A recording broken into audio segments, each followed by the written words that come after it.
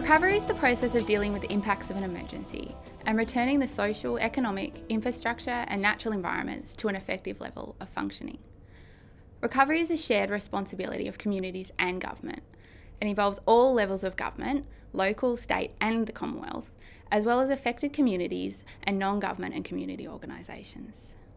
The way recovery efforts are managed and coordinated changes over time. It involves a transition from short term arrangements that are used during an emergency to longer term arrangements that are established for months or years. Initially, relief and short term recovery activities are coordinated as part of emergency response control and coordination structures. During an emergency, responsibility for coordination escalates from municipal to regional to state levels depending on the scale and complexity of the emergency event. Most recently, in uh, the 2019 bushfires, the southern part of, of Tasmania was inundated with spot fires right across all regions. Again, that regional community came together, or the regional committee came together, and was able to collaboratively work towards restoring the community back, and fortunately, no loss of life.